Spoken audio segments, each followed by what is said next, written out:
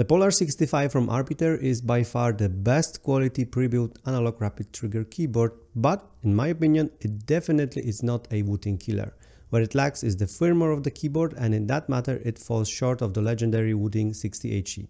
Let me explain why. What is the point of rapid trigger keyboard? Well, the idea is that your key resets as soon as you start lifting it up and then activates again after you start pressing it down.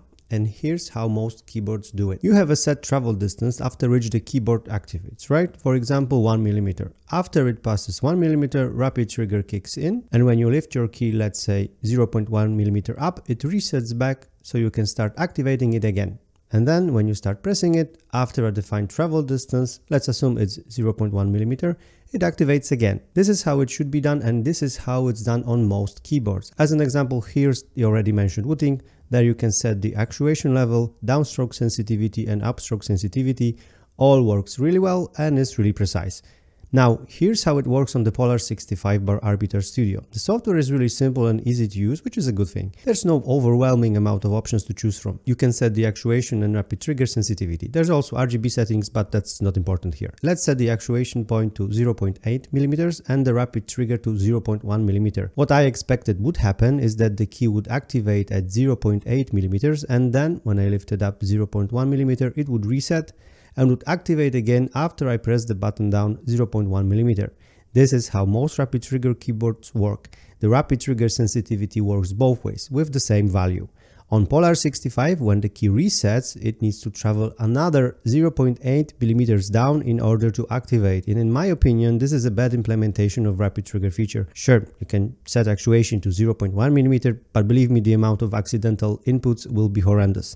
The keys basically activate as soon as you brush them with your fingertip and it's really bad for both typing and gaming. The only reasonable option here is to set the rapid trigger to let's say 0.2 millimeters so it's not too sensitive and the actuation to around 0.4 0.5 millimeters this way there's a smaller risk of accidentally activating the wrong key Another thing I notice is there's a small dead zone when you bottom out the key around half a millimeter and when you start lifting the key up, rapid trigger even at 0.1mm sensitivity won't kick in. Of course, this might not be a deal breaker for some of you, and that's fine. Like I said, you can work around it with a proper setting.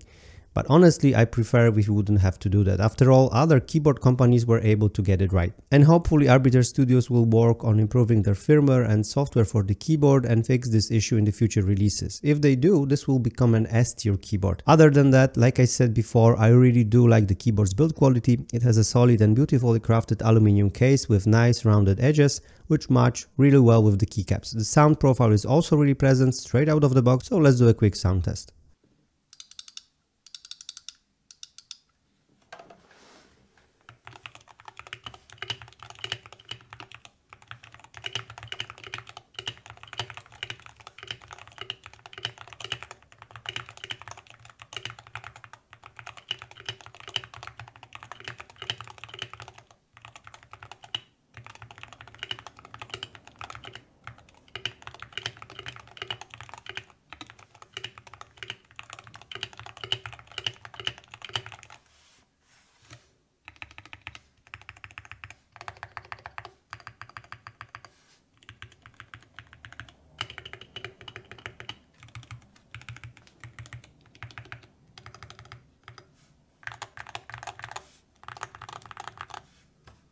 I really wanted to like the Polar 65 and initially I really did. Great build quality, good typing experience, good sound and very affordable price when it comes to rapid trigger keyboards at least. But I was really disappointed by the implementation of rapid trigger feature here. I think it's just inferior to other keyboards. And that's it in today's video. Thank you so much for watching. I'm Laser and I'll see you in the next video.